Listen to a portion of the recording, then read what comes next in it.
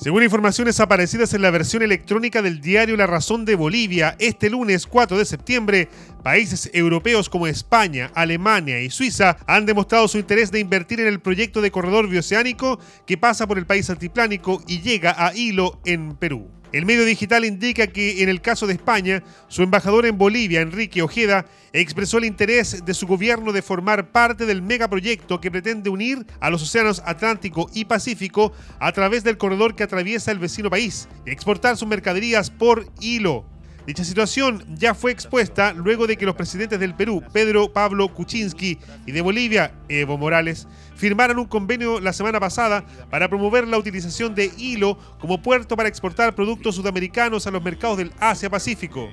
En el caso de Suiza, en la edición digital del mismo diario, aparecida el pasado domingo, se detalla que dicho país europeo está dispuesto a invertir en un posible tren bioceánico y que incluso se barajan tres opciones de trazado que atraviesan el Perú y que son susceptibles de conectar el entramado nacional ferroviario boliviano. Si bien estos acuerdos se analizan y debaten a alto nivel, lo concreto es que los transportistas bolivianos y paraguayos siguen prefiriendo los puertos del norte de Chile y en especial Iquique para exportar sus productos en los mercados del Asia-Pacífico. Lo anterior debido a los menores costos, al ahorro de tiempo y a la tramitación más expedita que ofrecen los servicios nacionales para el tráfico de productos extranjeros que llegan a nuestros terminales.